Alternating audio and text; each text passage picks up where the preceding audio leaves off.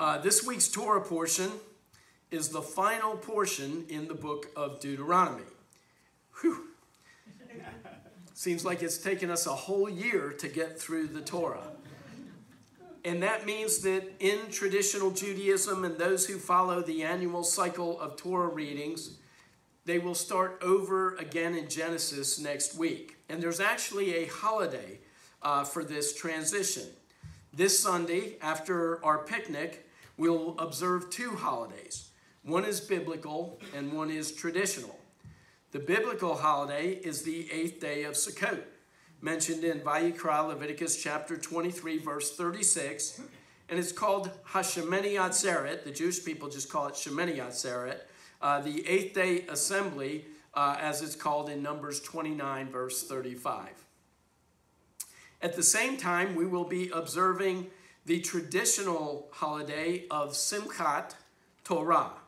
Simchat means rejoicing uh, in the Torah because we read the final verses of Deuteronomy, and then we will have uh, the smaller version of the Torah scroll that we have in the fellowship area. We'll bring it in here, and uh, we will read uh, first the final verses of Deuteronomy, and then we'll rewind the, the scroll, and then we'll read some of the initial verses uh, in Genesis.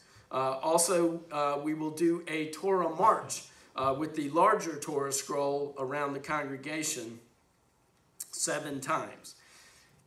But before we can go through the celebration, we have to discuss the final portion uh, in the book of Deuteronomy.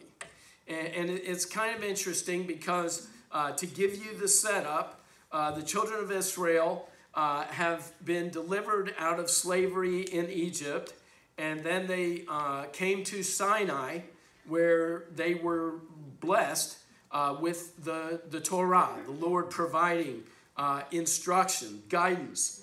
Um, and then, uh, through some fault of their own, actually, through a lot of fault of their own, uh, the journey to the promised land has taken a little bit longer than uh, it really should have uh, as they listen to the uh, evil report of the 10 scouts.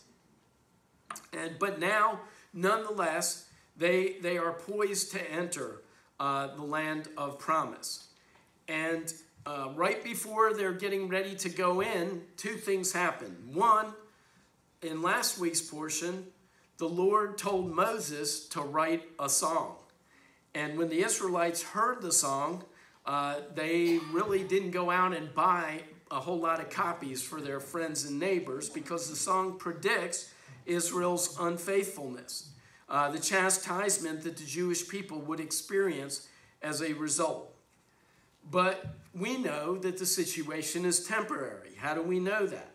Well, we know number one, the Lord has said he would not leave them nor forsake them. He says that over and over. He says it to Moses, uh, in tonight's reading, he, he said it to Joshua. But secondarily, we also know that this chastisement is for the purposes, uh, as it always is, to draw the people back to the Lord. And as we often mention, if we read and we find a passage where the Jewish people are being uh, chastised, where their sins are being made known to them, uh, it, it, may look kind of bad. The Lord is it does not overlook sin and he is quick to confront it and let it be known that he is not happy with it, but that is not a permanent state. Because John will tell us all we have to do is what? Keep reading. Keep reading. Even at this in this song, we find that one day the nations will rejoice for the Jewish people. One day the Lord will take vengeance on those who opposed his servants. One day he will make atonement for his land and his people. Now, there's also a uh, more modern song based on one of the verses in tonight's portion. Anybody ever hear of the song Zeraot Olam? Zeraot Olam? Any? No, okay. Um, in the English, that would be Everlasting Arms. Um, and can we lean on his everlasting arms? Well, Deuteronomy 33, verse 27 says the children of Israel can. Uh, as Rick read earlier, the God of old is a refuge with everlasting arms beneath, uh, supporting his people. Israel will live in security. Uh, Israel is asher, happy, because the Lord is their defender. He will cause their enemies to cringe before them, and the children of Israel will trample down their high places. And while these verses will likely see their ultimate fulfillment following Messiah's return, we're seeing some of this in our day. In 1948, the Lord restored the Jewish people to their land. In 1967, Jerusalem came back under Jewish control. And in 2018, the United States moved its embassy to Jerusalem. We are seeing exciting things. It seems like uh, things are moving in the right direction, yet Zechariah 14 suggests that at some point in the future, all the nations will line up against the Jewish people, against Jerusalem. It will be on the verge of it, they will be on the verge of being wiped out. And the Jewish people will turn to the Lord in desperation, realizing that only the Lord can save them from those who are lined up and seek their destruction. Now, in this week's Torah portion, we're seeing a change in leadership, uh, kind of out with the old boss and in with the, the same, uh, the new boss, who's the same boss. Uh, because Moses is about to die and Joshua is about to take over. Uh, in last week's portion, Moses told Joshua in front of all the people that the Lord will be with him. He will not fail him nor forsake him. This promotes a smooth leadership translation uh, let's try that again. A smooth leadership transition, uh, which, as you may be aware, is not always the case. Uh, the children of Israel do not launch an impeachment inquiry here, but there are times when our leadership transitions can be a bit of a challenge. Uh, but that is not the case here. The final portion of Deuteronomy, I mentioned the song, it is followed by uh, the portion is called Vzot HaBrachah, uh, which means, and this is the blessing. Uh, starting in Deuteronomy chapter 33, Moses, like Jacob uh, earlier at the end of Genesis, is pronouncing his blessings over the children of Israel just prior to his death. And we all desire a blessing, don't we? We all desire words of encouragement. Uh, but here, what we find are prophetic words being pronounced over each of the tribes of Israel. And instead of pointing to his own accomplishments, you know, Moses uh, is, knows that he is about to die. And yet his concern is not his legacy. He could easily have pointed to all the times he interceded on behalf of the children of Israel. But instead, he provides these words of prophecy uh, for each of the tribes.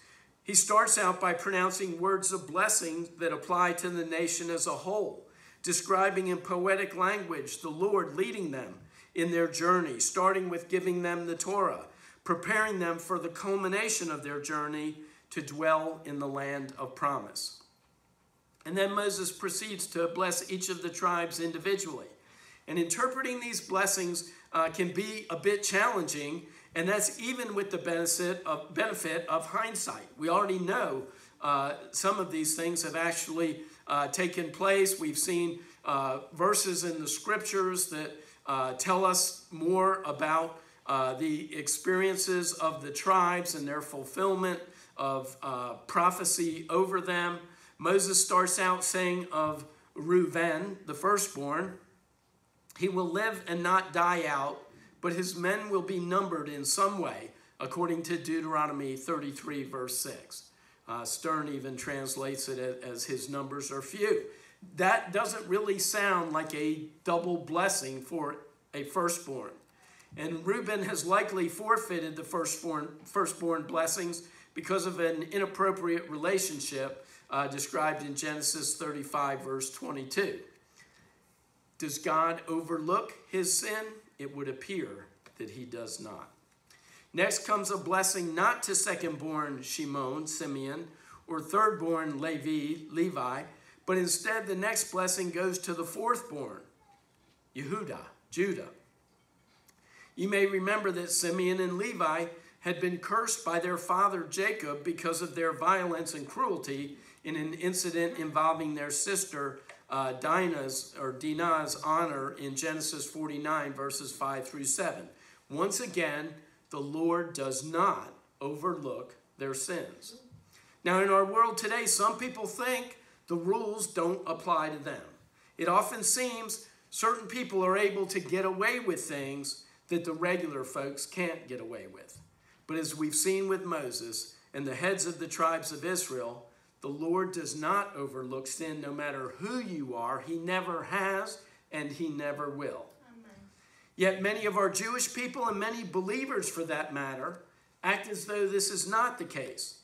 The rabbis of traditional Judaism uh, often uh, suggest that salvation is based on our good works outweighing our bad, downplaying the devastating effect of sin on our relationship with our Creator, let alone the impact sin has uh, in our own lives in this world today.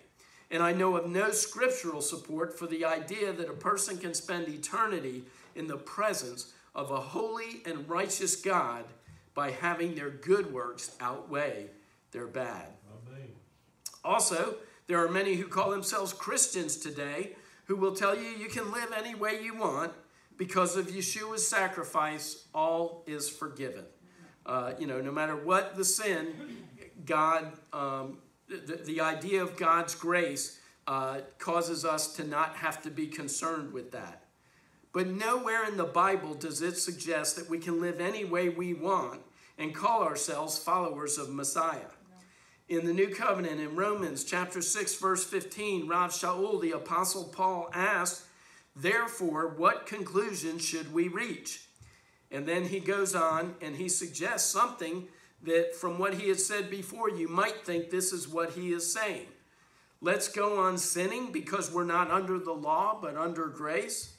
And Paul answers in the strongest negative. In the Greek, it is me genoito.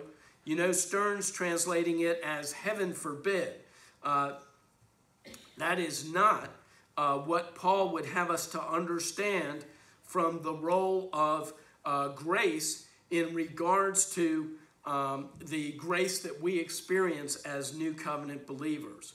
Our grace is that our sins can be forgiven, not that we continue uh, to practice them. Amen. At the end of tonight's portion, Moses is told one time, one seemingly small indiscretion when he struck the rock instead of speaking to it. Because of that, he will not be able to enter the land of promise. God does not overlook sin. He has a standard of righteousness that while we are unable to fulfill it, he provided the way that we can be seen as righteous. He provided His Son as the sacrifice that brings forgiveness for our sins. Our good works cannot be good enough to satisfy His standard of righteousness. It had to be just like the, the sacrificial system that we find in the book of Leviticus. The, the sacrifice had to be without spot or blemish. Uh, and that is why we needed Messiah Yeshua, who was able and kept Torah perfectly, who was without spot or blemish, who did not sin, uh, who was without sin. Because um, 1 John 3 4 uh, um, uh, translates sin or, or tells us, defines sin as transgression of the Torah. So for Messiah to be without sin, that means he could never transgress the Torah. And um, we find through the Torah that we are unable to meet God's standard of righteousness, but we also find the grace of God by providing His Son uh, as the sacrifice in our place. The sin is not overlooked, the punishment has to be paid. But Messiah Yeshua stepped in and took the punishment for us. Back to the blessings. Jacob has already said of Judah in Genesis 49, verse 10, that the scepter shall not depart until uh, Shiloh or Shiloh comes. And uh, it's generally understood that Shiloh is a term for the Messiah, meaning the Messiah would come through Judah's line, uh, which we see fulfilled in the New Covenant scriptures regarding Messiah Yeshua in Matthew chapter uh, uh, 1 with the genealogy, and also in Luke 3, uh, genealogies that um, lead to Yeshua uh, go back to uh, his ancestry uh, as part of the tribe of Judah. Here Moses blesses Judah in Deuteronomy 33, verse 7, saying, Hear Adonai the cry of Judah. Bring him into his people. Let his own hands defend him, but you help him against his enemies. While the tribe of Judah was always positioned at the front whenever the nation would go into battle based on the Lord's instructions in the book of Numbers, the blessing seems to be about the Lord as being the one who provides the victory through the tribe of Judah over Israel's enemies. Levi is blessed next because, according to Deuteronomy 33, verse 9, the Levites were more devoted to the Lord and his covenant than even to their closest family. And um, we know from a, an event that took place that the Levites had become the Kohanim, the priests, uh, the, the intercessors between God and the people after the golden calf incident. Uh, originally, the people were going to be able to go directly to God. In Exodus 19, verse 6, the Lord tells Moses to say to the people, You will be a kingdom of priests for me, a nation set apart. But after the golden calf incident, it was only the Levites who would serve as priests. Part of the blessing of the fulfillment of the Brit Chadashah, of the new covenant, according to 1 Peter 2, verse 9, is that once again all of God's people will be kings, uh, will be the king's priests. They will be able to boldly approach the throne of grace, as it says in Hebrews 4, verse 16, because of the atoning sacrifice of Messiah Yeshua. Our blessings are not tied to our goodness any more than Israel's blessings were tied to their faithfulness. We find out that though Israel may be unfaithful, though we all have our moments when we fall short, God remains faithful. He remains faithful to the promises because of the faith of our forefathers, because He needs to demonstrate to this world who He is by the people that He has chosen for his purposes, the Jewish people, as a demonstration to all the world of his faithfulness, a demonstration to all the world of how he blesses people who are faithful in serving him. And also, they turn out, not that they want to be, a demonstration of God's chastisement when they go astray. Similarly, for us, the Lord chastises those he loves. Do we really want him when we go astray to just say, oh, okay, one down, I got a bunch more here that I can uh, deal with? Or do we want him to say, no, Todd, turn around, you're going the wrong direction. You need to come back towards me. You need to make teshuvah. You, you need to reevaluate against the standard that I have established in the Torah, in the prophets, in the writings, in the New Covenant scriptures, and see whether or not your life is lining up with those principles, with my instructions? Or are you going your own way? Do you have your own agenda? Are, are you listening to the flesh that only seeks after pleasure uh, and is only concerned with preventing ourselves from being hurt? Uh, is basically selfish to the core? Or is there a new way? Are we a new creation? Are we able to be selfless? Are we able to be led by the Spirit? Are we able to count others as better than ourselves? Are we able to say, I must decrease so that he would increase? It's a completely different approach. And as we understand his unconditional love for us, we will want to display it back towards him. And he would even have us practice by displaying it towards others. Do they deserve it? No way, Jose, to use an expression we had when I was growing up. Uh, me okay? They do not deserve it, but we didn't either. And so, as we display unconditional love towards others, we have a greater understanding of God's willingness to display his unconditional love towards us, to allow his only son to be the sacrifice that brings forgiveness for our sins, to die though he had done nothing wrong and so uh, we, we experience these blessings. And, and, and, that is why blessings are, are so important. Um, and and uh, one day, These, these things will be restored to the way they once were. And, and yet, uh, God will continue to bless according to what Moses has uh, said regarding the different tribes. The next blessings go to the tribes of Benjamin and Joseph. Excuse me, Jacob's two sons by Rachel, Rachel. Benjamin is described as living in security and protected by the Lord.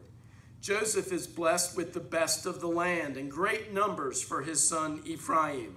Some translations say myriads, which means thousands and thousands. Sometimes it can even mean millions. Uh, and then it says thousands for his son uh, Manasseh. As once again, uh, we see the Lord giving the younger uh, the greater blessing and the older the inferior blessing, a sign that God is not bound um, by earthly uh, birth order or any other earthly uh, laws that exist in this universe. When we ask Him to perform a miracle, when we go to Him in prayer, we are asking Him to change the natural order because He is able to. Whatever we might pray for, we are praying, Lord, you are able to supernaturally overcome the limitations of this world. And so we are not bound by this world, even the ultimate weapon of this world, which is death. Okay? These earthly bodies are going to give out one day, should the Messiah tarry. But nonetheless, he tells us he is the demonstration in his resurrection that death has been overcome. It no longer has the victory, it no longer has the sting. And, and I've spoken to many believers in their very last days in this world, uh, in their fleshly bodies. And, and there is a peace, a peace that passes all understanding as they realize that this world is not all there is. That, that death is just merely going to be a transition to the rest of eternity in God's presence. Our flesh uh, is scared of death. Our flesh wants no part of it. We have all sorts of euphemisms, uh, words that we use uh, to say, you know, the person has passed on, they've gone to be home with the Lord. All sorts of ways that we try and, and um, deal with our uh, struggles with the idea that one day this fleshly body will no longer be able to um, live in this world, to, to uh, house life. And yet our spirits are eternal. And, and not only that, the Lord will one day, we don't know exactly how, but even as we heard in the, this week's New Covenant portion with the idea that uh, all of a sudden they saw Yeshua's body transformed into this glorified body, we too will one day experience that according to the scriptures. Uh, our spirits will be reunited with our bodies, but they will be glorified bodies that will no longer experience suffering and pain. And, and that gives us a hope, a hope that this world doesn't have. This world looks around and sees suffering, and the only question they can ask is why. It, it, they have no answer for it. But we, on the other hand, see suffering as a blessing because we can share in the suffering of our Messiah. We can go through, uh, we can have experiences in our lives that will enable us to be a blessing to others who are going through something similar. We can offer words of encouragement that we have uh, come through the battle victorious in some cases. In other cases, we say, Look, I may not get the victory in this area, but the Lord is with me, even in the midst of the battle. And, and so suffering can be a blessing. We can learn truths that on the mountaintop, we, we don't, we're not aware of those truths. We're, ju- we're just celebrating and we just feel like you know, we're just sitting there under the glory spout, taking it all in. But, but God took the Jewish, the children of Israel, out into the wilderness, into a place that was a harsh environment where there was no PlayStation, there was no internet. They, they, it was just them and the Lord, okay? Even way back then, you know, there were times without the internet. I know it's hard to believe and imagine today, but the reality is that sometimes God has to take us away from all of that. Uh, on a weekly basis, He has provided the Shabbat, where we should be focusing on that which is eternal, where we take a pause from our day to day existence and everything that consumes our time to say, okay, Lord, what would you have me to understand today that I might understand just by setting this day apart for you, just by listening for your still small voice to reveal a truth that I can't hear when there's all this other noise going on. And so we want uh, to be faithful to his calling in our lives, even when it's a calling to do things that we would rather not do, that may even involve suffering. Uh, we are called to be selfless, uh, and, and, and, we are able to see blessings uh, in suffering when the world sees uh, nothing but something to be avoided at all costs. Sometimes, you know, the battle will require suffering. You know, you can't win the battle if everybody runs away as soon as somebody gets injured or killed. You, you've got to continue the fight. But we know that the Lord is on our side. We've read the end of the book. We know who wins in the end. And so we see things from an eternal perspective. And, and we no longer fear if we lose our lives as long as we feel like, okay, Lord, we, this has happened in service to you. Or I've lived a good life. You've given me so many blessings in this world. And I know they're going to pale in comparison to what awaits. When you look at our time in this world, it's a snap of a finger, a blink of an eye, uh, compared to the rest of eternity. And yet, the Lord wants intimate fellowship with us in this world to prepare us because we are going to have fellowship with Him for all of eternity. We are going to spend all of our time along with the seraphim saying, Kadosh, Kadosh, Kadosh. Holy, holy, holy is the Lord of hosts. We, we just are here in a time of rehearsal. That's one of the things that the appointed times accomplishes for us. We rehearse. Sometimes we don't even know when the performance is to take place, but we continue to rehearse so that we might be ready. Moses uh, continues the blessing, blessing the rest of the sons of Jacob, the ones that we hardly ever talk about. And just before he pronounces the blessing over the entire nation, once again, that we read earlier, his final blessing is over Asher, uh, the, the um, last of the sons, and uh, by Leah. And the uh, Asher, mean, as we said earlier, means happy. And the final blessing that he gives over the nation is Ashrecha Yisrael mi chamocha, which means, Happy are you, Israel. Who is like you? They are to be uh, above all the nations for the purpose of demonstrating that their God is greater than any other God.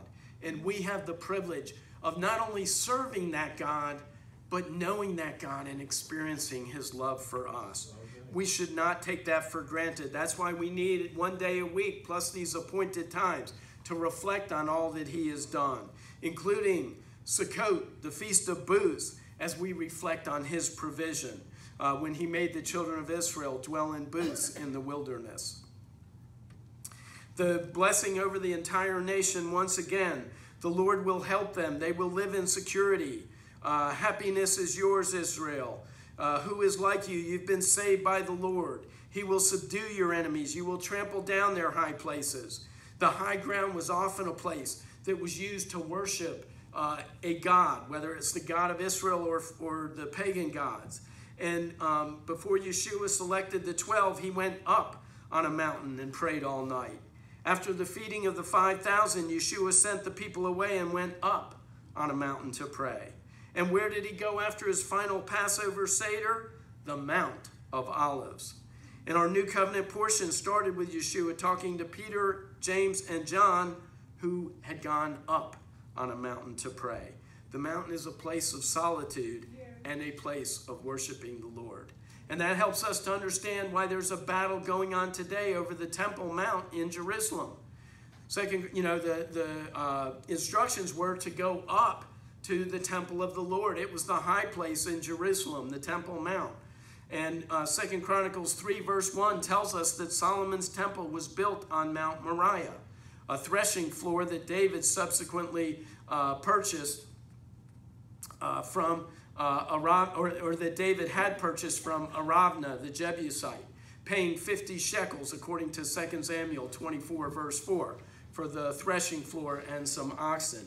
And yet, the Palestinians today are trying to convince the world that the Temple Mount never belonged to the Jewish people, and there never was a temple at that location.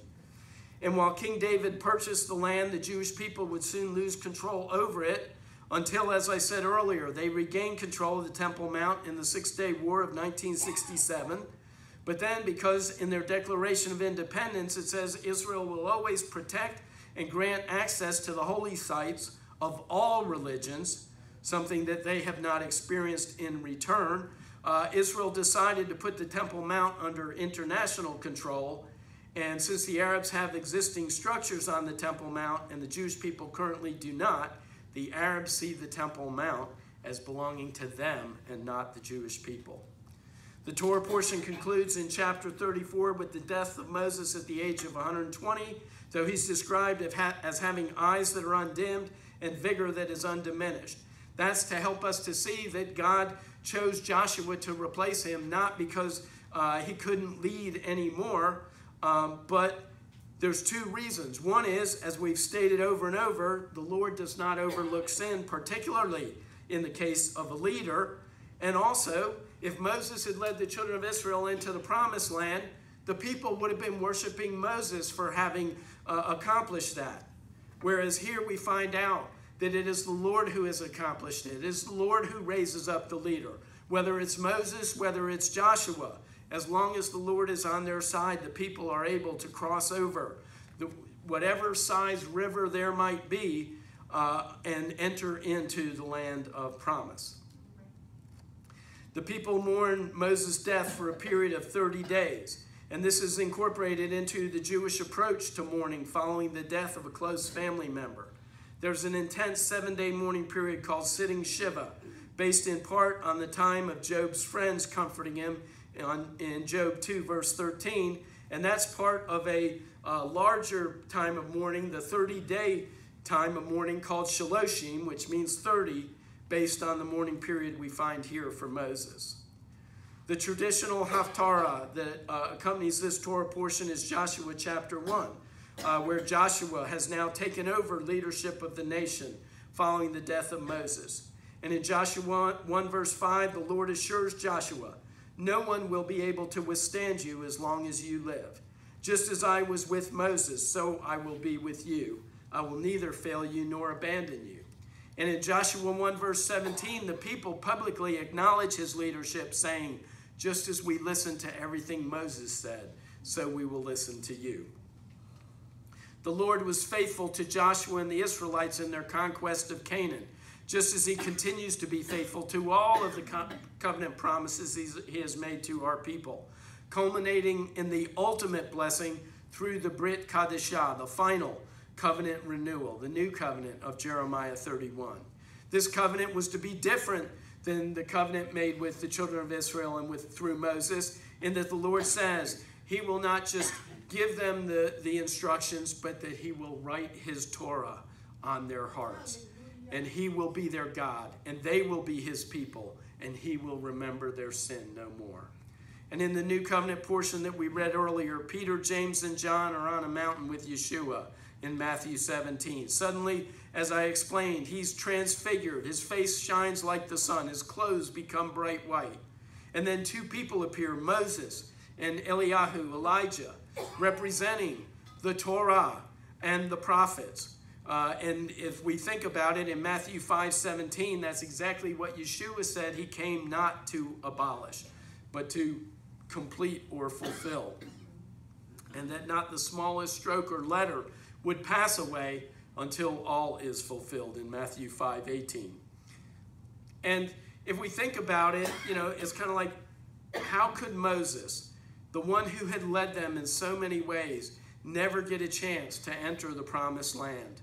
But here we see that it wasn't that he would never enter the land, it just would not be in the timing that he might have hoped for. As now, he is finally in the land. Our blessings are not limited God does not see us only in terms of our life in the Olam Hazeh, only in this world. But there is an Olam Haba, there is a world to come.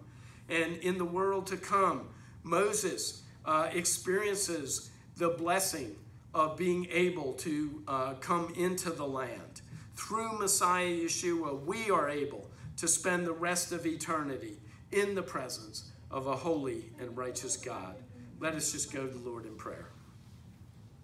Lord, as we have observed this time of dwelling that you have established, uh, this time of dwelling in the sukkah, in the booth, we thank you that your spirit dwells in our midst today. And we thank you for these special times that you have established, your appointed times, that we might better understand your faithfulness to your people. And Lord, we know that you have revealed that the only way anyone can be restored in their relationship with you, a relationship that has been broken down by sin that you do not overlook and you do not ignore, is through the sacrifice that your son Yeshua provided on their behalf. So if you're here tonight, you've never accepted Yeshua before, but you want to accept him as your Messiah tonight, all you have to do is raise your hand and you can put it right back down. We always give this opportunity. We never take for granted that everybody's already made this uh, willingness to acknowledge Yeshua's sacrifice. Is there anyone? For those of us who are believers, already followers of the Messiah, uh, as we observe this time of dwelling in the sukkah, as we uh, take time to acknowledge all of the blessings that the Lord has provided uh, to us, many that we may tend to take for granted. Lord, we ask that your glory would rise and shine forth over us, that you would watch over, protect, and provide for us, that you would help us to purify our hearts uh, as we seek your dwelling presence in our midst at this time and in this day. And we ask you to help us to be a blessing to others, to share your love, your unconditional love with those who desperately need it, particularly the world who cannot understand that type of love. Help us to serve you in all that we do as we celebrate uh, this time of rejoicing, as we thank you for giving us the Torah, for providing instruction and guidance for our lives, as we thank you for dwelling with us, as we seek to purify our temple, to be holy ones because you are holy, that we might bring glory to you in all that we do. And Lord, we just ask your blessing upon all who are here, upon our congregation, upon all those who are not able to be with us, who need a touch from you this night, and upon all Israel as you demonstrate your faithfulness. We humbly ask these things in our Messiah Yeshua's name. And everyone said, Amen and Amen. God bless you all.